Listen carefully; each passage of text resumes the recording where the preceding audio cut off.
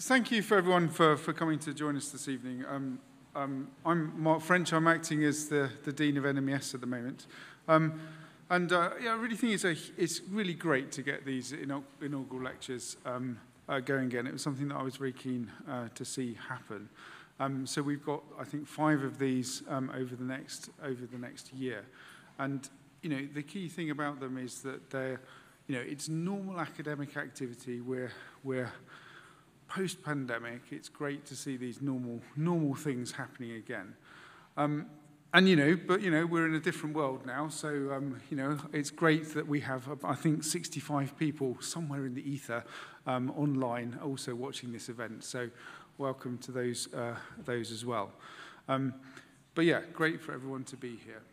Now, um, we've got two inaugural lectures today. Um, they're, they're, they're academic uh, things they're going to talk about. Uh, what they've been doing, um, what motivates them, and, and what their research is, but also something about the journey and how they, and how they got there. So I hope that we get a, a good uh, sense of, of what it means to be a, a, a professor coming forward uh, now. Um, so I think one of the uh, really interesting things about uh, um, King's is that there are many people who have joined relatively recently. I, am one of them. Uh, Luc Moreau is the head of um, informatics. Relatively new. We're not people who've been here um, since we were kind of this high. And that's true for, for uh, Carmine and Elena as well, joined in 2019 and 2020. So there's an important thing about, um, uh, you know, telling the story about uh, what they do, where they came from here as well. So it's a really great pleasure uh, to uh, invite both Carmine and Elena uh, to talk uh, today. Um, and um, Elena said, say something nice, right? So I've, I'm briefed to say something nice about Elena and Carmine. So there we go. I'm saying something nice for you, uh, Elena. Uh, you're a great person, and Carmine, also fantastic person.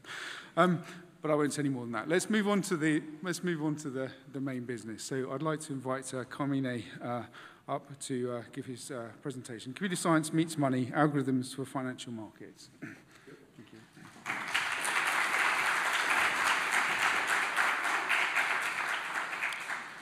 Okay, great, thanks. Uh, wow, it's, yeah, it's good attendance.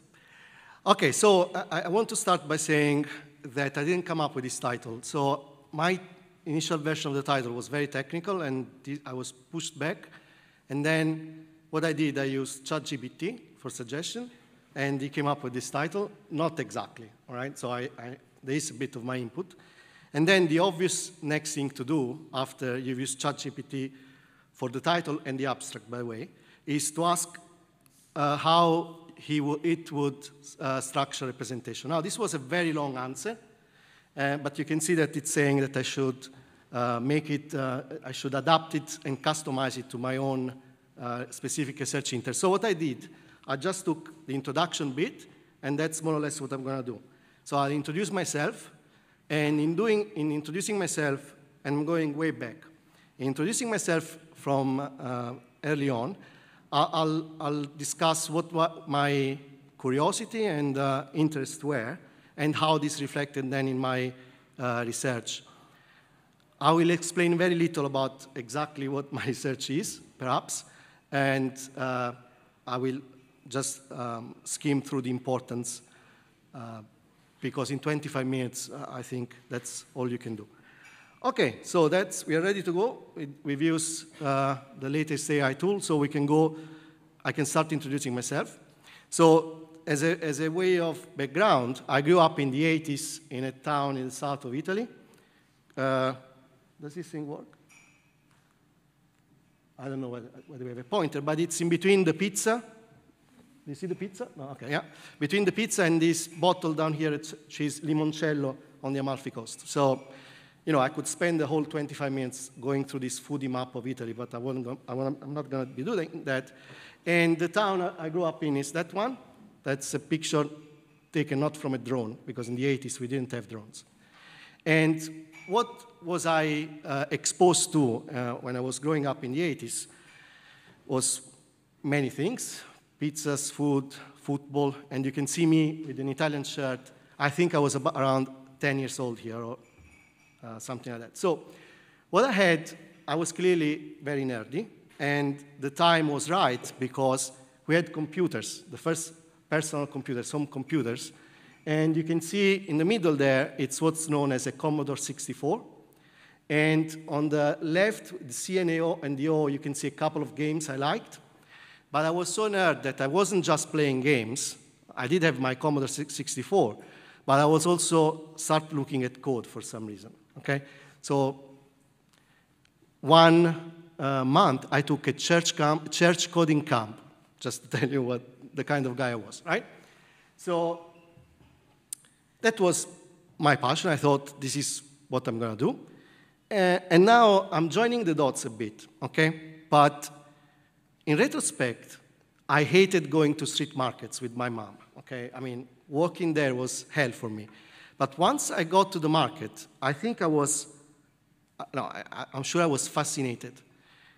People shouting, negotiation, you know, how do you come with price? How do you choose the product? From whom should I buy the, the apples? So there was this fascination about this, the social aspects around market that uh, was with me a bit. So now this dichotomy between a very nerdy computer science subject or computer uh, stuff and this more social aspect was with me to the point that when I needed to choose in the 90s what secondary school or high school I needed to attend, for a series of fort or fortunate or unfortunate event, I went in this building here. Now, it wasn't as nice. Okay, so they, they made it up, but yeah, good. I mean, they spent money. Uh, and I, I started a, a, an experimental program that was called, uh, in Italian, ragioniere programmatore, but it doesn't mean, it doesn't, uh, what it means is something that's in between accounting and software development. I don't know how these guys came up with it, but they thought maybe Excel could be useful, I think. I mean, it wasn't even Excel, it was Lotus 123 for Okay, so what this gave me, I think it gave me a more holistic and 360 degree um, vision to, to the world, right? So I saw, because I was exposed to microeconomics, I had a topic which is called Sciences of Finance. It was all very high level, no maths, no formulas, uh, but it showed me how you know policy, for example, can affect people's lives and uh, um, things like that. I had a bit of computer science, so I could still you know, uh, you know give food to that uh, nerd part of, of myself. Okay, so I'm still in between these two uh, streets, if you like. Uh, they, they, they met a bit with this accounting and software development, but you know, I still didn't know what I wanted to do. When it was the time to go to uni, you know, I went back and forth between the two subjects being, let's say, computer science and finance for a long time. And eventually, I decided to go for computer science. Okay? So this is me before I started. So when I started, young and uh, thin.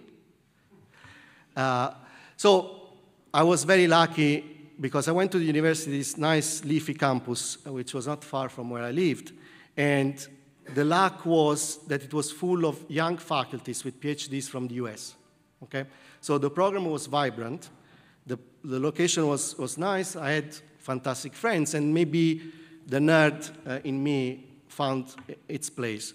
And what I did in those years, and I think uh, it's very important, I started to see what the giants of the field that produced, okay? So I started studying on all these fantastic books. I mean, this is just an, some examples. I, I understood calculus for the first time.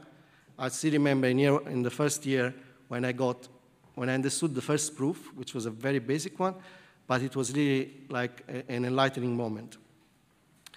Okay, so you know now I had proper mathematics, proper programming. Uh, I, you know, I was all pumped up. What do you do next? And this was again a, a moment of choice, and uh, I decided to go with uh, Pino Persiano here on the left because he was the one professor who made me work the harder. So with him, I spent nights working on his assignments. So I said, you know, maybe That's a good thing to do. And this is when we have a, a full circle number one, because when I went to him for a PhD, he had this uh, European project where you can see at the bottom there, the approach was that they wanted to pursue and they needed staff or they needed, they needed someone to work on it was multidisciplinary, using computer science, economics, amongst other things, okay? Why there was the need for that? And again, you know, now the, the two the two streams kind of join, right? So if you remember the computer markets example, this is the first case in which they come back. And why did this, why the project was there? Because in the meantime, whilst I was studying all this on these American books, etc., Google had created a digital marketplace.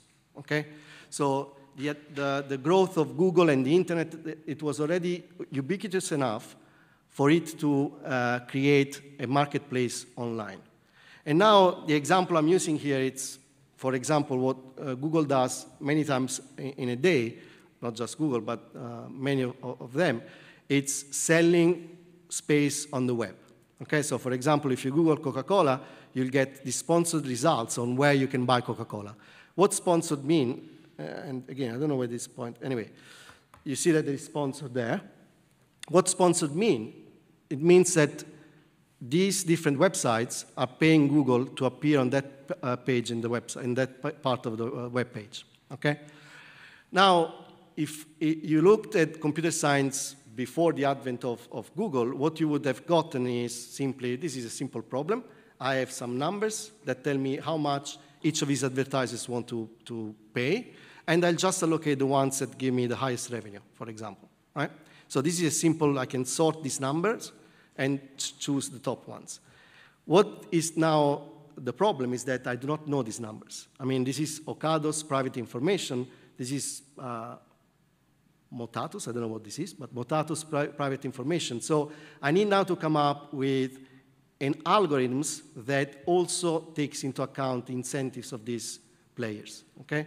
So this can be modeled with a, you know, a problem whereby you have slots to allocate and most prominent slots get more of the business and this becomes now a wholesome problem. It's not just a technological problem, it's also about incentives and engineering incentives.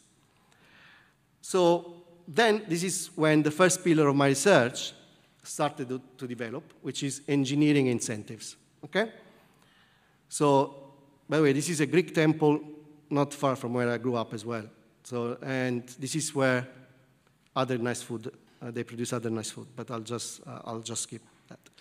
Okay, so to introduce what I've been doing on incentive engineering, I want to make the setting even simpler than the sponsor search auction setting of you know, the Coca-Cola thing, and just try to sell you this banana stuck on the wall, okay? So I want to auction the banana stuck on the wall. And if you think about it, so I'm the auctioneer, I, I need to define the format of the auction. So how, how will I go about collecting from you how much you, for you the banana stuck on the wall is worth? And after I've collected information, I should decide who gets the banana and how much they pay for it, okay? So here is two different solutions.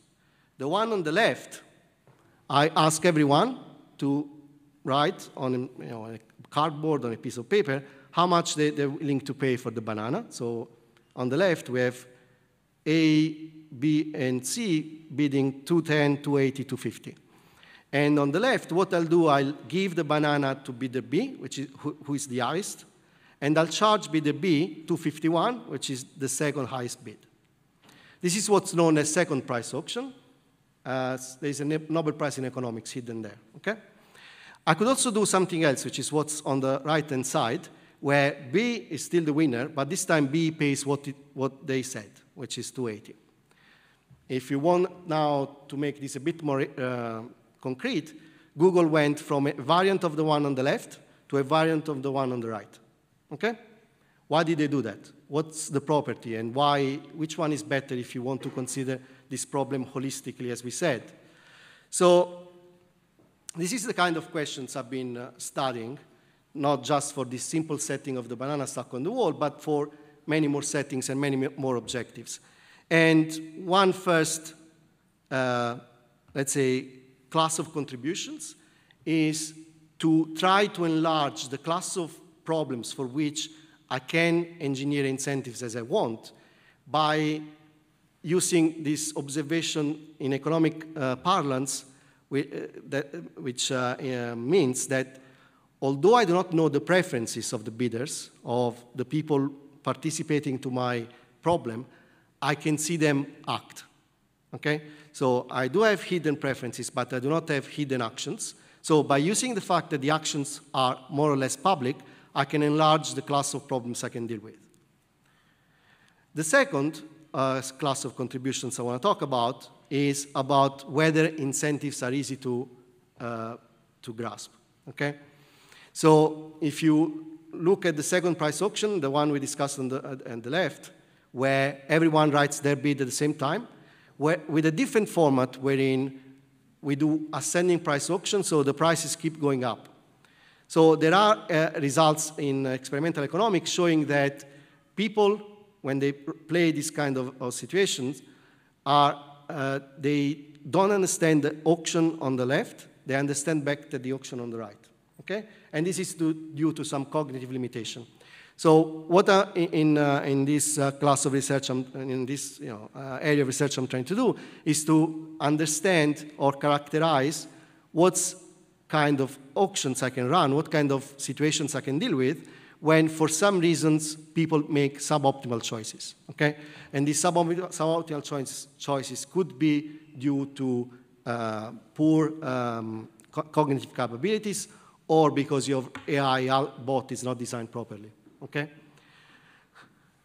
Okay, so this is the pessimistic view in the sense that here I assume that people are not able enough, are not, you know, let's say, rational or uh, clever enough to understand how to play the, the game, and they will say, they will behave correctly only when it's obvious. So that's why I said this is the pessimistic view. You could also have an optimistic view, wherein you say that the, the people will behave unless it's obvious that misbehaving is better for them. Okay? And now, in one of our recent results that I keep pushing as Willy Wonka auctions, uh, I, I, still have, haven't won the approval of my co-authors. One is there, I don't know whether he agrees with me, but what we can prove is that if you use a kind of ticketing system similar to Willy Wonka uh, golden ticket, then the first price auction that Google now uses, the one on the left, actually works. So if you assume that people are not fully rational, fully capable of understanding, and you take the optimistic point of view, then you can use what Google uses, plus the Willy Wonka tickets. Okay, so now we come, this is the incentive engineering uh, I wanted to cover, and I have two more pillars to go through. And I want to uh, mention this uh, turning point was 2016, and this is where I really went full circle. And this is a question that someone asked me, what's the next big thing in finance? Okay? Now, my answer wasn't great. And despite that, I was told to teach finance for a number of years. Okay? And now, by teaching finance a number of years, I learned a lot, and I went back to my computer science market thing in, in a more general way. And this is when I get to my second pillar, AI CS in finance. So again, I'm going to give a very high uh, bird view. And my motivation here is AI is great, not just to come up with abstracts uh, and title for talks, but also to do many other things.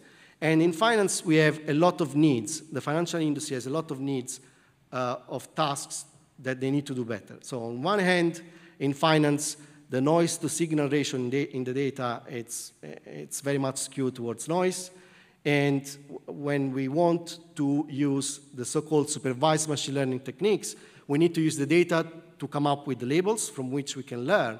But if these labels are noisy, probably we won't be learning very well. The other problem is that in finance, despite the huge wealth of data, data is scarce if you want to use more advanced deep models. So how do we deal with that? And then we have some uh, very um, fi financy stuff. So if you want to use derivatives, and in the city you want to use derivatives, to hedge risk, you need to come up with prices for these derivatives. And this is something that either it's inefficient, takes a lot, lot of time, or uh, requires some assumptions in mathematics that are seldom true in reality. And the last one is you can do the same thing, but instead of pricing these derivatives, you want to hedge the risk of having a certain position against these derivatives. So in our research here, we deal with these four problems. So for the uh, noise to signal ratio, we use AI to denoise financial time series and come up with better financial time series. And there is a quantitative way with which I can say that these ones, these synthetic time series are better. For the uh, problem of scarcity of data, we show that you can use synthetic data generation to train trading algorithms that actually do better than the algorithms trained on real data. This is on the top, you have what an algorithm would do on trained on real data. So you see all these arrows, it's taking a lot of positions, which means it's losing money. Okay? Instead, you look at the one at the bottom, it's learning to do what's called buy and hold. So you buy Bitcoin because the algorithm figured out that it would go up. And this is much better, okay? For the pricing issue, uh, for the pricing of derivatives, we came up with a, a combination of a new AI pipeline and some um, very cool financial mathematics topics I don't fully understand, but Andrew is here and he does. And we price very well and very quickly. For the hedging problem, we show how to use deep nets to uh, um, trade off the risk and the cost of hedging, even when the assumptions that mathematics need are not true. And then there is something that I put in between where we push all the financial data into a new space that we call latent space. And in latent space, there's a lot of nice structure that we can use. And on the AI in finance, uh, AI CS in finance, I want to conclude with something you might have heard on the news about Credit Suisse and SVB. Banks fail, and we have a, a problem as uh, regulators or from the systemic point, systematic, systemic point of view to understand the exposure of banks to this risk of default. And you know, this is, we can define a very concrete way of measuring this risk. Uh, and unfortunately, the answer that we found in our research is that there is a very precise sense for, uh, for which it's hard to compute the exposure to systemic risk of, of these uh, banks. Okay, so this concludes the second pillar. I don't know how I'm, going for, I'm doing with time. Carl is silent, so I keep going. So the third pillar is on, on market simulation. So, for example, this model about systemic risk very nice, but it's still a theoretical model that's hiding a lot of the, com com the complex issues of the real world. So what we'd like to get is a way in which we can simulate these complex systems, okay? A way in which we can play with some uh, independent variable and compare, for example, the systemic risk when we use regulation one, the systemic risk when we use, re use regulation two. Now, to do that, we need to solve a lot of challenges. One is this, uh, you know, this simulation platform must be scalable uh, uh, because we have many actors in the financial world, and this is uh, often computationally out of reach. We need uh, to account for adaptive strategies. So if we change regulations, people are, are going to come up with different strategies. And we need to account for the incentives of these banks or, or these actors. Okay? So finance is extremely uh, strategic Cool, three minutes left. I think I'm going to do it. Yeah. Uh, so they, they are uh, highly strate strategic, and we'd like to account for strategies or, or, actions that are guided by incentives.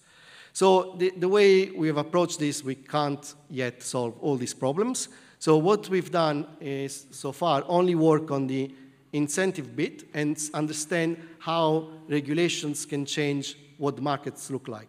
For example, if you take the way any uh, or the majority of exchanges work in the, in the real world, they use something that's called price time priority, where the strategies that actors or uh, traders use are just about speed and not about quality of strategies.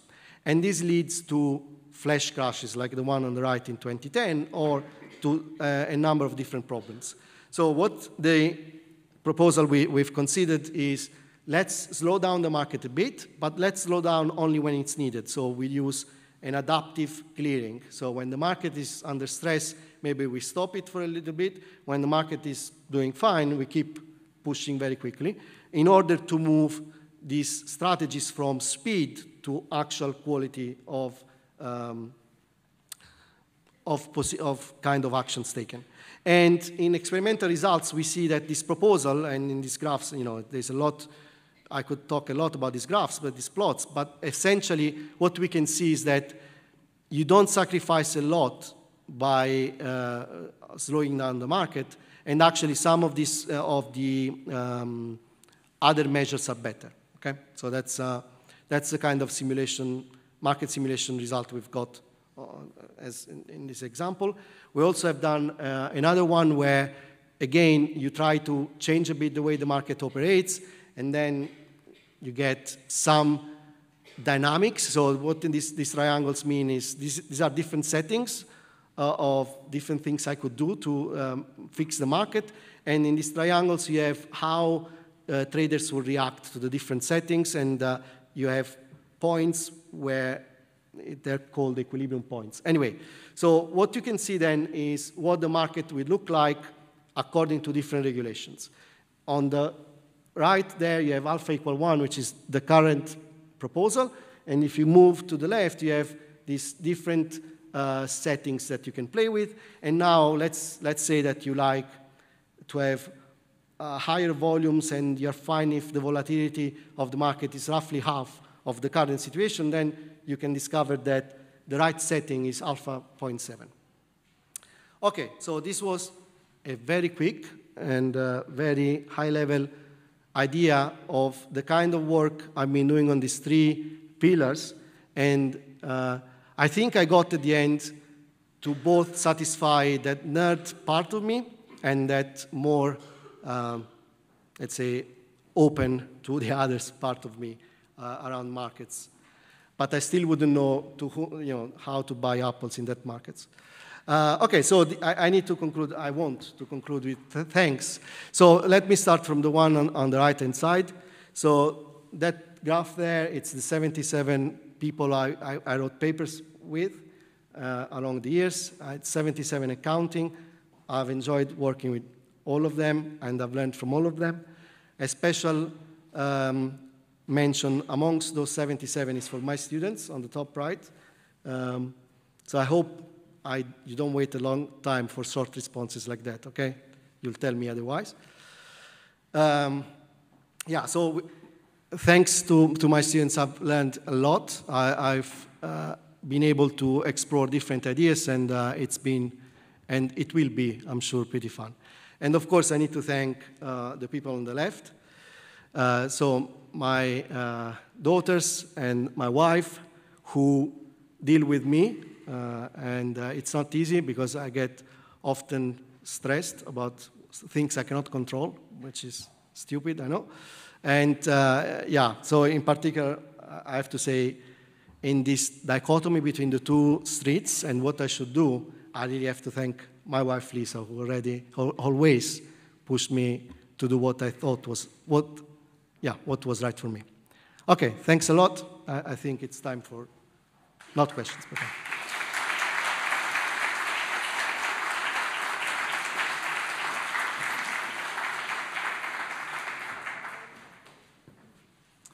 Um, hello, I'm Luc Moreau. I'm the head of the Department of Informatics.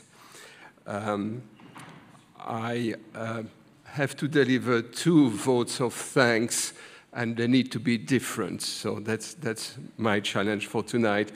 Um, so I, I can't get that picture away from my brain of this little Carmine, 10-year-old in his bedroom, in his Forza Italia T-shirt and in his Commodore 64. but um, I, I, I, can't get uh, away from it.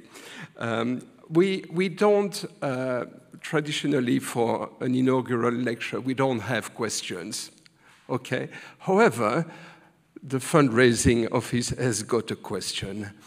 Given your title, Algorithms Meet Money, have you met money? The fundraising is would like a, a big donation. So when is it for? um, so um, we were talking about uh, ChatGPT, and um, you know when Google came out, we we were all googling our names to see what it was like. Okay, well of course that's what we do with ChatGPT. So um, what did I do today? And I chat GPT, is it a verb? Uh, I chat GPT uh, um, uh, Carmine and also Elena. Um, and it's really interesting. Um, so you, you need to be a bit specific. I ask, who is Carmine Ventre at, at King's? Um, I'm sorry, but as an AI language model, I do not have access to personal information about individuals unless it is publicly available. However, I can tell you that King's is renowned for research, blah, blah, blah. Okay, good. Um, so I'm, I'm, becoming a bit more specific. Who is computer scientist Carmine Ventre? Carmine Ventre is a computer scientist and academic researcher who specializes in the area of software engineering and formal methods. and he is currently a senior lecturer associate professor in the Department of Informatics at King's. Um, prior, prior, to joining King's, he was research fellow at the University of Leicester in the UK. Uh, and uh, also, you were at the National Institute of Informatics in Japan and University of Bologna in Italy. Um, and your focus is on the development of software engineering techniques and tools for the analysis, verification, and so on of systems. So I wrote, I thought Carmine Ventre was an AI researcher. Could you double check? I apologize for the confusion in my previous response. You are correct that Carmine is not primarily known as a computer scientist.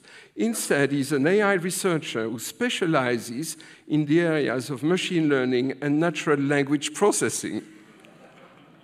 Uh, Carmine Ventre is currently a lecturer, assistant professor in the Department of Informatics. So I thought I'm going to stop, otherwise I'm going to have Carmine in his bedroom at the age of, of 10. Um, no, let, let, us be uh, serious. Um, it, eh, these days is, is a special day in the life of, of a, a professor okay? As, as an academic, we, we strive to become professor, and then that's part of the folklore to be able to, to deliver this lecture. So Carmine, uh, my personal congratulations. Um, and I, I, would like to, to, to, thank you for this lecture and the clarity of, of, of, of what you presented.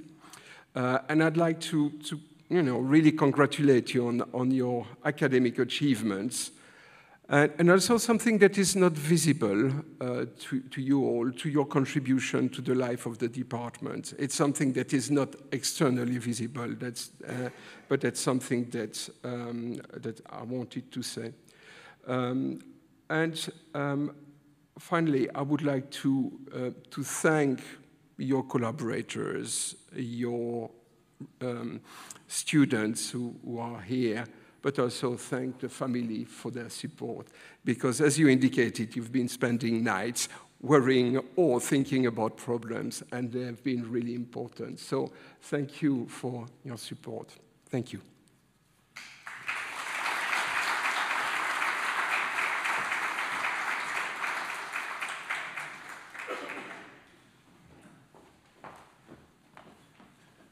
So, um, Thank you, uh, Luc. So uh, next up we have um, Elena, and um, I'm, I'm, doing this very badly because I've lost my piece of paper. Um, so Elena uh, Simperl, um, who is going to present uh, knowledge engineering from people to machines and back. So thank you, Elena.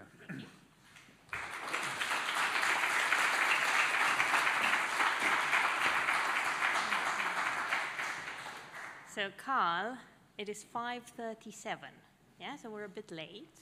Think about that.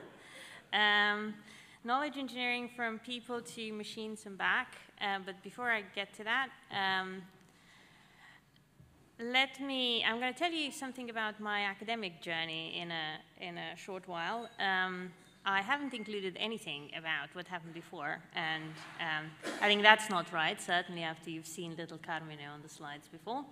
Um, so Carmine told us um, about how he became um, the academic that he is today. Um, say, when I was growing up, I was a mathematician, um, hardcore math person. He was going to competitions every single year since the, age of, since the age of eight. Um, and essentially, like in a tournament, I would go from the school level to city level to district, all the way once to qualifying to international competitions. And sort of as I was finishing high school, I was fed up with it.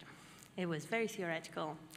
Um, I didn't really see what application it would have in the real world, so I thought, I'm going to become an economist and I'm going to work in banks. And this was sort of a year before I was finishing high school.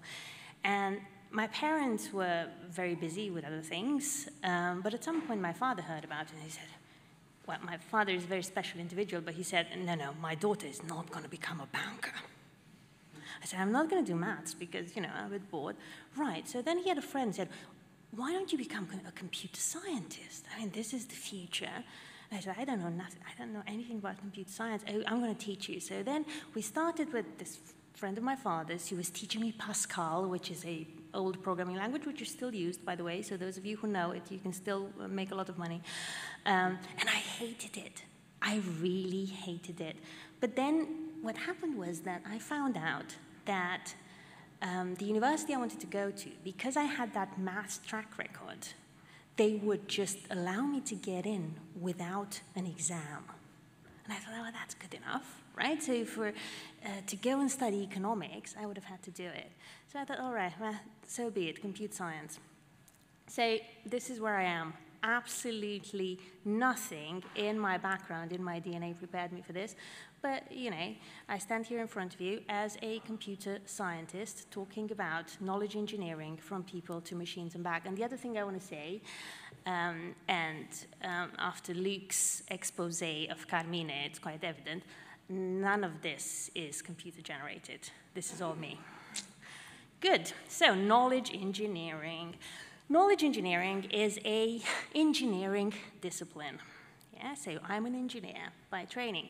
What does that mean? It means that as an engineer, I solve problems. And I do that by looking at requirements, by doing user research, by then coming up with some sort of solution, which I try to implement, and then I deploy it and evaluate it and maintain it. Because it's knowledge engineering, the sort of thing I built is a type of software, and it's a very special type of software. It is a type of AI called knowledge-based systems. Yeah? Knowledge-based systems are a type of artificial intelligence um, that has been around for quite some time. Um, and essentially, the idea is that you um, draw the intelligence. Oh my God, hold on. There's torches on. Why is that? Let me just put this here. So, knowledge-based systems. Um, the idea is that, that the system, the software, draws its intelligent behavior from capturing the knowledge of people in a digital or in a computational form to support decision making. Well, so here we go. A few examples. Um, we use this sort of knowledge-based AI all the time. We use it in every single search engine. We use it um, when we ask for recommendations on Netflix and when we um, go on Amazon to buy something and we receive product recommendations, or when we talk to Siri on our phone. So here's an example to illustrate what I, what I mean. So I am searching on Google for my football team. And I receive not just websites that talk about this football team, I receive information specifically, specific information, facts about this particular entity, which I'm referring to as FC Bayern, which is a football club. Say, this knowledge-based system essentially knows that the sequence of letters, F, C, blank, and so on and so forth, refers to an actual thing in the real world which I technically refer to as an entity. Yeah? And this entity is a football club. It's not a university, it's not a hospital, it's not a train station, it's a football club. Then it also knows that football clubs tend to have a stadium and they have a manager. So then it is able to give me all these facts on the right hand side. If I would have looked for King's College London, again, the knowledge base that sits behind this magic would have been able to tell me that that's probably a university, and then it wouldn't have shown me any stadiums. So that's knowledge-based systems in action. Think about, think about a knowledge base essentially as a very big Excel spreadsheet. And I know some of you here um, know a lot about knowledge bases and knowledge graphs, um, so don't be angry with me. Um, I'm just trying my best. So think about it as a big spreadsheet. In each row is a fact about, about an entity of interest. So on one row, it says, FC Bayern is a football club. The next row says, the football club is located in Munich, Germany. The next one, it said, its stadium is called Allianz Arena. Part of that spreadsheet doesn't refer to actual things in the world, like the different football clubs, but has more general stuff about how football clubs operate. So it says a football club tends to have a manager, it tends to have a stadium. There are many ways to structure these spreadsheets. And there's many ways to publish them in a way that other people who haven't designed that spreadsheet understand what they're about and can combine them with their own spreadsheets. But that's a lot of technical details that we don't really need to dwell on today. Think just big spreadsheet with facts about things of interest. Now, most large organizations in the world have their own proprietary knowledge base. There are also some open source ones, um, and the example here is Wikidata, which is used, among others, on Wikipedia pages. So every time you go and look for an article about an entity of interest, in this case, still my football club, the information on the left, which is basically another way to display the content of the big spreadsheet, is read into that thing on the right. Yeah, so that fact sheet. So you still have the text, but you also have specific information. Knowledge-based systems don't just contain information about current affairs. They tend to know a lot about background stuff, about sciences, about healthcare, about history, about geopolitics. And they can deliver not just answers to factual information, factual queries, but they can also give you, I don't know, mathematical proofs um, or uh, complex plans or optimizations, all because they have access to a knowledge base that contains all that information. An example of such things is this Wolfram Alpha system um, that is here on the slide. So now, you may wonder how all this relates to the sort of AI you've been reading about in the news, say the sort of ChatGPT or Bard of this world. So first and foremost, to just make a comparison, let's just forget about the chat part. Um, so the chat part is a way to interact with this sort of technologies, um, just like a search field in a Google search engine is one. So let's just talk about the GPT part. GPT is a machine learning system. So that's another type of AI. Knowledge-based systems draw their intelligence from a knowledge base that captures domain knowledge about a certain domain like healthcare or football. Machine learning systems like GPT don't bother with all this knowledge curation. They learn patterns, they teach themselves to learn patterns from raw data, specifically a lot of data. And you've seen it in action as well, right? So every time you have an autocomplete on your phone or in your email is this sort of technology that, that, that is at play. So when I start a message with FC Bayern, it is more likely that the autocomplete will be FC Bayern won at the weekend rather than FC Bayern launched a rocket in space. And that's because, not because the machine learning system actually understands, well, this is an entity and it's a football club, so, and then they play games, and the games are mostly at the weekend. None of that is actually happening, but it has seen lots of similar sentences, so it can suggest the same sort of templates when you write a message. So essentially, think about these machine learning systems as giant predictive text engines. Most AI solutions at play use both things. Say, all the search engines, all the chatbots, all the recommenders, they use both an artificial intelligence where the intelligent behavior is drawn from raw data, which is by comparison quite easy to get to, get access to, and learn from, and curated knowledge from a knowledge base. All right, so do I want to go through these examples? Yes, I actually want to go through these examples because they show what happens if you do AI without the knowledge base. You can't really read that. So, so how do I use this? Why does this say big money? I don't know if you can see. Uh, big money. Okay, big money. How do I use you? Like this? No. what have I done? Ah, magic. Okay, so don't do that. Don't do that. Do this. Yes, right. Very good. Say, uh, I was told I can't move, but I will move a little bit. Um, Carl.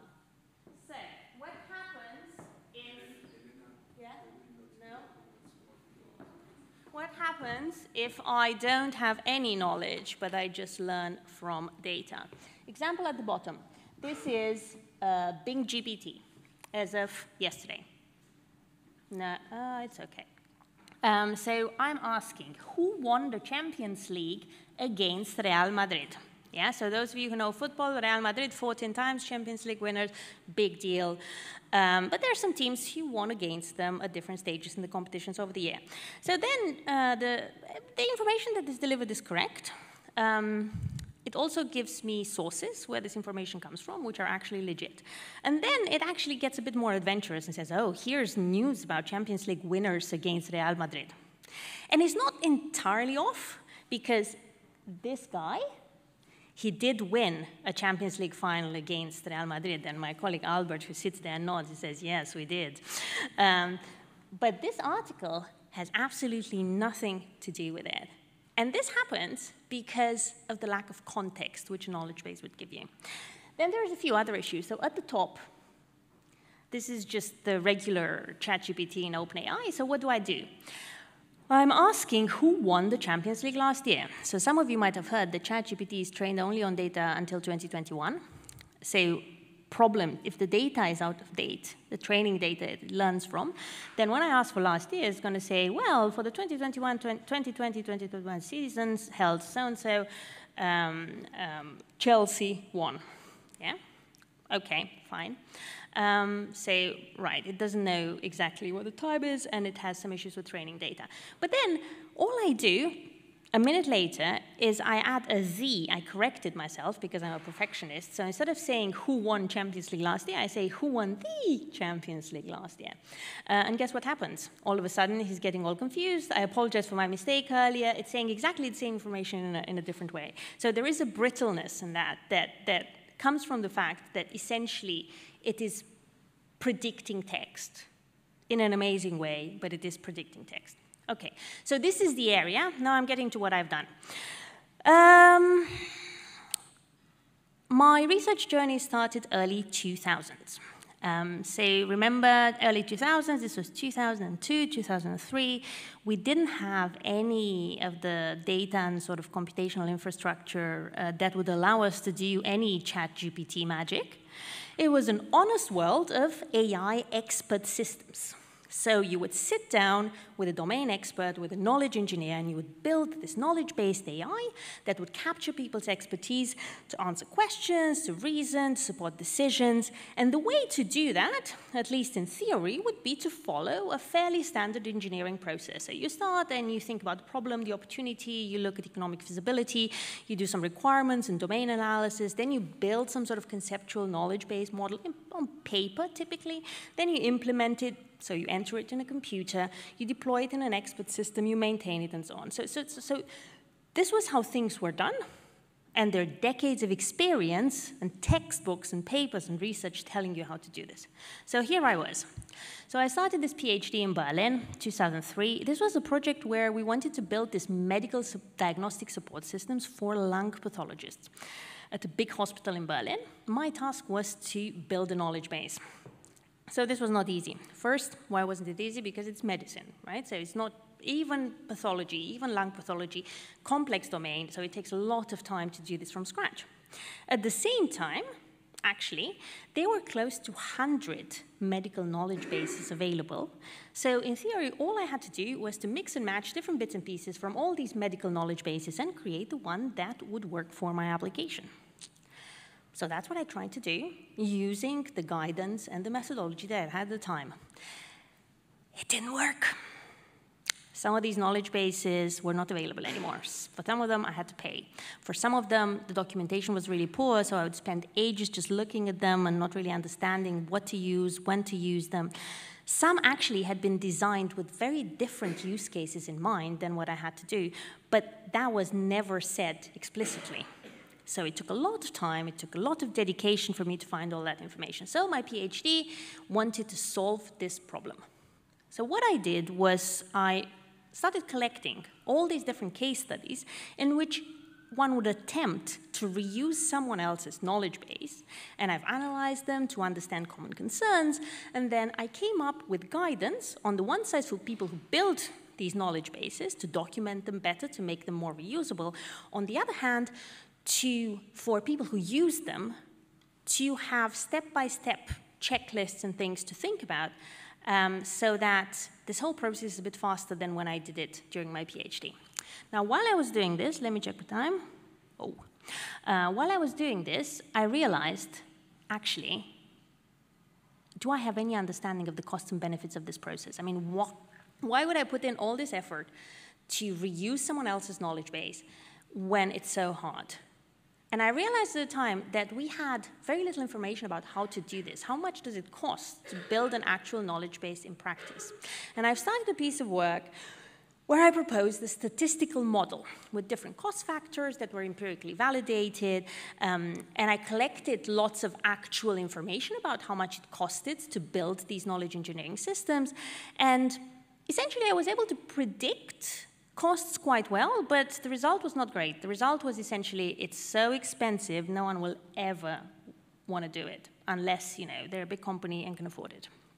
So then what do you do? Well, I had two options. One was to try to automate, but that wasn't an option at the time because the technology wasn't up for scratch. And the other one was to go away from this idea that you do knowledge engineering with a small group of people, experts trained in that field, and involve more people. So when you involve more people, there's a few things that, that you need to, to take into account. So you move away from a situation where you have a small group of experts, expensive, hard to train, um, but they're very knowledgeable, to a situation where you have hundreds, thousands, tens of thousands of people who all can contribute some little bits, but they actually don't care so much about knowledge engineering. It's not their job to care about it, um, and they're not trained in it. So they will make mistakes, and they will make different types of mistakes. So two issues. First, the data quality. But secondly, also, how do, you, how do I keep these people engaged, since actually it's not their job, and they don't have an intrinsic motivation to do it. So this brings me to my first project. So this was the first project I was a proper PI on. It was in 2009. Um, it was the first time I did interdisciplinary work, so not applied research with medics, but actually I worked with psychologists and economists and HCI researchers and game designers to, um, because I wanted to find a way essentially to design knowledge-based systems in a way that is not just compelling in general, but in a way that encourages any user of these systems to contribute, to make their little contribution to the knowledge base in, in the backend. And we've done many wonderful things, but I'm going to skip them because I'm out of time. Um, but I'm going to tell you about the main use cases that we had, the main scenarios that we've analyzed. One of them was with these people from a company called Telefonica. Um, so their problem was knowledge management. So think SharePoint. Um, so they were people in charge of the whatever version of uh, knowledge management system they were using. And they were a small team and couldn't build a knowledge base big enough, useful enough to improve how people were finding information. So what we did, what we could have done, is to reach out to everyone, Telefonica employees, we really need to improve our internet, go and do this. We didn't do that because we knew from psychologists and economists that it wouldn't work. Instead, what we've done is we started thinking about how do people use this internet and what are the little nudges and little things that they could do that would help us grow that knowledge base on the fringes. The other thing I've done is um, say, okay, so in the first example, people, employees of this company, understood what their benefit was if they did this activity on the side. It was easy to do, they had a direct benefit, not just an institutional one, and we've given them some rewards. Another situation where people just tend to do a lot of stuff is games, particularly something called games with a purpose. Say, the most famous game with a purpose is Duolingo. Yeah, say, on the one hand side, in Duolingo, um, what you do is you're training machine translation algorithms from two different languages, language that you learn and the base language. The examples that you have in Duolingo come from these algorithmic processes, and you, by learning the language, which is something you want to do, you help train an algorithm. So the idea here was to find the same sort of design patterns to do some knowledge work. The problem, though, was that this is more an art rather than a science, and for some knowledge engineering tasks, they're so dry and so complex that you can't easily come up with a, with a design. And then you also have the issue that you have to build a player base and keep them um, engaged. Finally, the other way you could do this grow a community is to grow a community. So you have lots of examples of online communities that do great voluntary work, so OpenStreetMap, it's, how, it's, it's, it's a great example. Quora, Stack Overflow, Reddit. People do voluntary work if they feel engaged. Say, I started looking specifically at this system called Wikidata, which I've mentioned earlier. Um, so this is the open, the largest open source knowledge graph available, um, and it has 26,000 contributors. Yeah, that's a lot. So that means you can get a lot of work done but you have some issues as well. On the one hand side, you still have issues with data quality because anyone can type in anything in that system. On the other hand, you do have issues with participation. You have 26,000 people, sure, but only 10% actually contribute regularly. And also you have, with large groups of people, you have all sorts of biases and groupthink and polarization that you need to account for. So we've done a number of number of studies to try to counteract some of these effects. So we've looked at um, how do we improve the quality of the data in Wikidata and its provenance.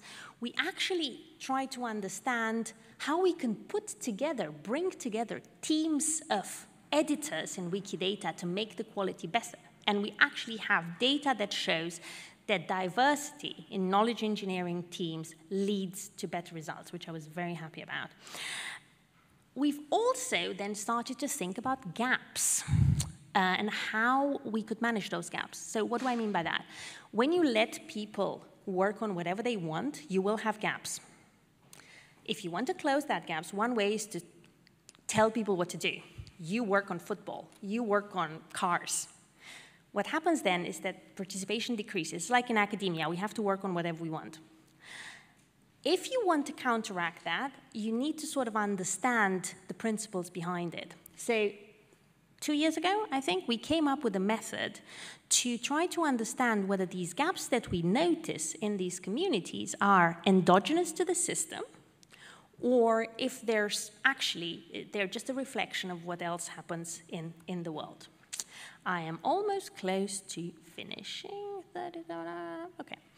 Um, so I said earlier that automation was not an option, and it's true, it wasn't at the time, but we had something in between, just involving people and pure AI, and that was human computation.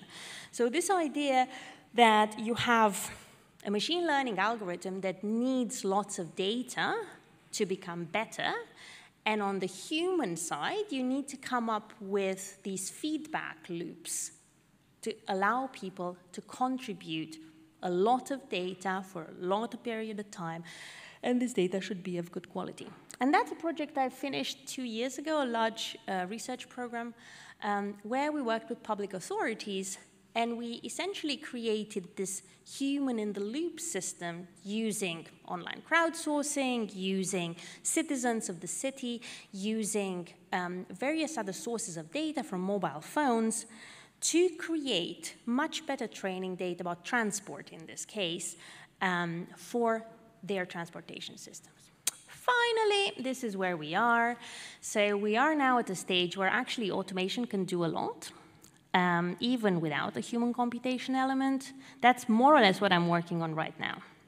So AI today needs lots of data, and if they want to be really smart, they also need lots of knowledge. So you need big knowledge bases, big spreadsheets. You can't do those manually, even if you involve lots of people. You need to use technology. Technologies like, like GPT. Is that a bad idea? Not necessarily. So you can't read this, but basically here I've generated a small structure for a spreadsheet about football, and that sort of works. Um, I don't remember what I've done at the bottom. What did I do at the bottom? Yes. Um, there's many challenges there. So yes, you can generate some of this information quickly, but at the same time, you still have the hallucinations that Luc talked about in his thank notes. So, what I would like to do next for the next five years, say, is try to understand how to use these technologies, which are very powerful, productively for knowledge engineering, to understand, going back to people, which tasks do really need human input anymore which tasks need human oversight because it's the law to have the human in the loop, and how to build tools that would allow little Elena in 2003 to have a much more fun experience during her uh, medical decision support project in Berlin.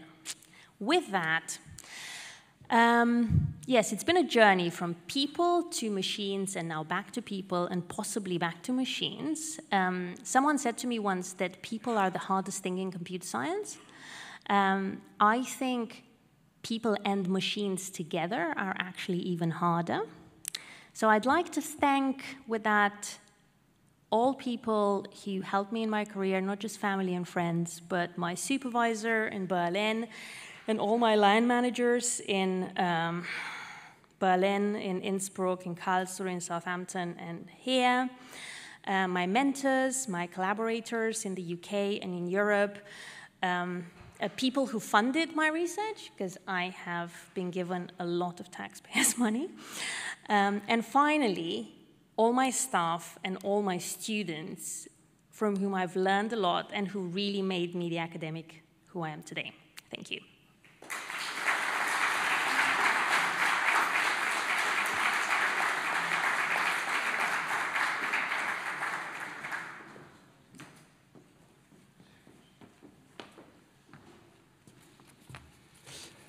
Uh, me again, uh, clearly a football theme today. Uh, had I known, I would have put on a shirt, but I was. Uh, it, it's interesting to see the, the two journeys here. Uh, Elena starting with Pascal, actually, yeah, it's also my first language, Carmine, Commodore 64. And, and what computing is allowing us to do now and the problems that we are tackling now is the journey is just amazing and it's, it's impacting society so much and it will keep on doing so. And we are really at, at the center of this. It's, it's fascinating. What is also fascinating is to see the breadth of research in, in ai in, in this department at king's um, what Carmine and Elena presented is, is very different in, in their research, um, though there is some overlap, but these are subdisciplines of AI. Um, what is also really fascinating is to see how Carmine is harnessing computing power to solve problems. And at least Elena, in part of her research, is harnessing people in order to solve problems and improve data quality. So we, we're tackling all those issues. It's, it's really, really, really amazing. Um, going back to the good old chat GPT, of course, I looked at Elena, and, and, and, and that's, that's what Elena said. The model was built in 2021. Um, so who is Elena Simperl from King's College London? There is no Elena Simperl at King's College London. However, there is an Elena Simperl who's professor uh, of computer science at the University of Southampton. And that's where I got to meet Elena uh, a few years ago. And um, I've always been very impressed by her energy and her drive and, and uh, really try, how, how she's pushing initiatives forward. And I see that in, in the department as uh, she's acting as a, um, she's deputy head uh, enterprise, and she's really driving amazing initiatives. So um, I, would like uh, first, Elena, to, to thank you for, for this very nice lecture. Um, and, um, and also uh, uh, congratulate you for all those um, academic achievements. Um, you are really well established in your field and you are uh, really well known. Um, and as I said, um, in different way to Carmine, but th th these are the things that, that are not visible externally, but the contribution to the department, from my point of view, is something um, really important. And you thanked everybody, uh, your collaborators, your funders, yes, very important, uh, but also I'd like specifically here to thank uh, Mike, your family who is present here because he's very important uh, and is supporting you. Thank you.